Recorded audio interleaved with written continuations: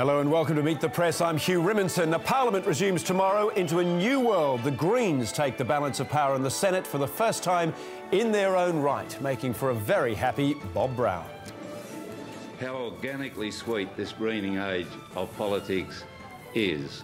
The government continues to fight on many fronts, facing rising revolt over the live cattle trade. Son-in-law just lost his job on Friday can't drive a cattle truck anymore. We are not going to have this trade suspended one day longer than is necessary. As we await an announcement on the carbon price, the PM is increasingly insistent the goal is an emissions trading scheme as soon as possible.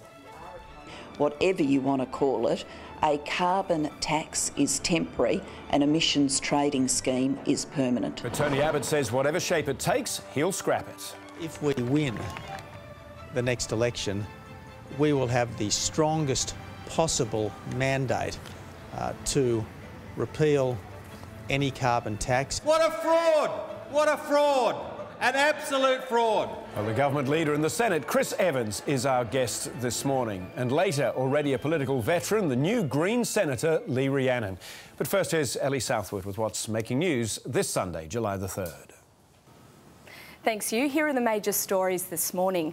Motorists can now rest easy when they hear the words carbon tax.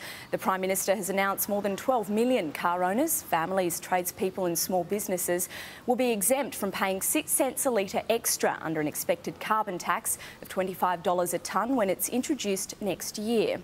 Analysts believe Tiger Airways may never recover from a decision by the Aviation Safety Authority to ground its fleet. Tiger was yesterday banned from flying for a week because of safety breaches. It left 35,000 passengers scrambling to find new flights, and many say they'll never fly with the airline again. Foreign Minister Kevin Rudd has met Burma's pro-democracy leader Aung San Suu Kyi in Rangoon, where he urged the Burmese government to free 2,000 political prisoners and allow its people greater participation in democracy.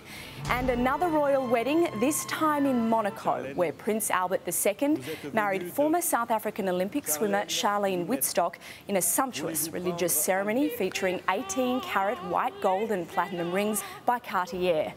And a brief kiss a very, very brief one, Hugh.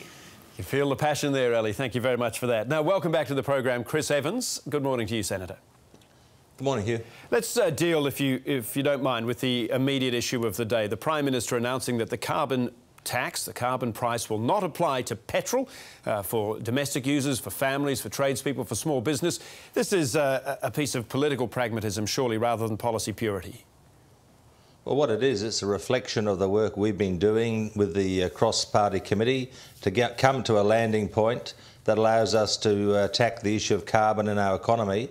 And so the Prime Minister has made it clear that petrol will be excluded, which I think is a good thing for families and for tradespeople and small businesses. And uh, we'll see the, the, the rest of the package unfolded when the agreement's finalised. What happened to the idea that you need to send a price signal to people to change their behaviour to get smaller cars next time they buy one, to perhaps use less petrol if you're deliberately avoiding uh, a price on petrol as part of the carbon price? Well, we've always made it clear that the first uh, aspect of this is to tax those large polluters, the thousand largest polluters in our economy. And so uh, we're working through the negotiations to make sure that price is placed on those companies to change their behaviour. And there'll be a range of other measures that continue to encourage uh, all Australians to conserve energy and to take uh, part in better practices. There's a lot going on by people's own initiative. This will help by pricing carbon, and I think it'll allow us to transform our economy to a cleaner economy and one which allows us to access uh, the sort of jobs and new industries that will emerge. It shows the, the opposition's cost of living attack line is spooking you, doesn't it? No, look, this is a negotiation that we're engaged in. And one of the things we've made clear is we want to compensate those who are doing it tough in the economy, families, pensioners, uh, those people that would uh, find it difficult to deal with extra costs. So we're trying to make sure the package is fair, those people get compensation, and we're able to attack uh, the key issue, which is the uh, the pollution in our uh, economy and how we how we encourage companies to act more responsibly and reduce their pollution. I'll take you to a story of the day if I can. The uh, Sun Herald newspaper has a front page story referring to, uh, they're calling it border radar fiasco. Uh, the $1.8 billion Jindalee radar system protecting northern Australia apparently having failed to spot a single asylum seeker boat in the last two years. Is that a failure of our northern defensive systems? Well, look, I'm not sure of the accuracy of those reports. Uh, Jindalee is an important part of our uh, defence uh, systems, and as you know, this government's uh, put enormous extra resources into northern uh, detection and, and defence. But the reality is, under this government, 99% of the boats have been intercepted before landing, much better than the earlier record of the Howard government. But, so I mean, they want the to be found, but isn't that a failure of the radar? Isn't that a failure of the radar system that it's just not picking up hundreds of boats that are turning up to our north? Well, the point is the system is picking up those boats. With the aerial and other surveillance we do, we have intercepted 99% of the boats. So uh, the system's working.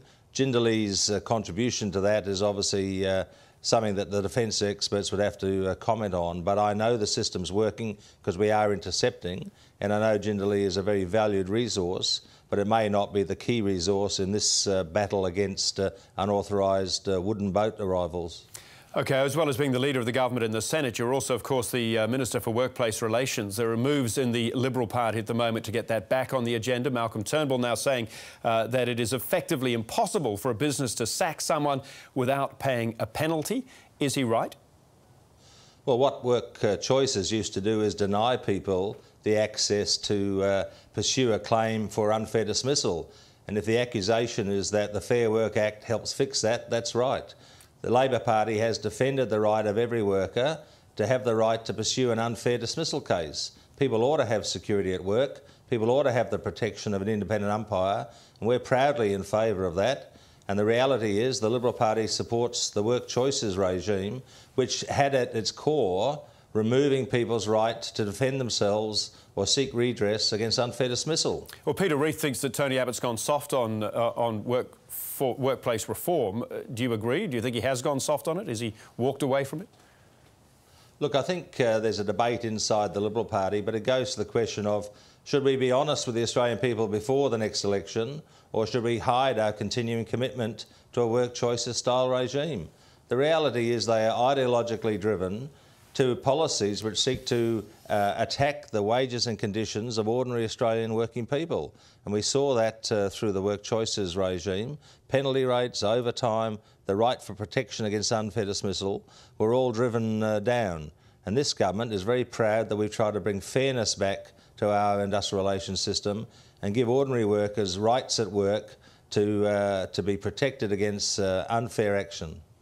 Well, you've been government leader in the Senate since 2007 under Kevin Rudd and Julia Gillard. Why is Julia Gillard a better leader than Kevin Rudd? Well, uh, I don't think it's a question about being better, but certainly Julia has a very inclusive style. She works well with the rest of the team. So she's, she's very good at negotiating. So she's not Well, better? I think she. Well, Julia brings very strong um, uh, attributes to the job. I enjoy working with her. It's a much more uh, collegiate system, I suppose, under her leadership. And I think that's shown by her capacity to make the parliament work. The reality is, despite not having majority in either house, we've got every government bill through the, through the parliament in the last uh, year, and we're able to govern effectively uh, despite the numbers in the parliament. OK, we're going to take a break. When we return with the panel, what are going to be the actual mechanics of the Labor Greens relationship in the new Senate? And the snap of the, of the week award goes to the woman in Iowa who presumably wanted to get a photograph of herself with President Obama.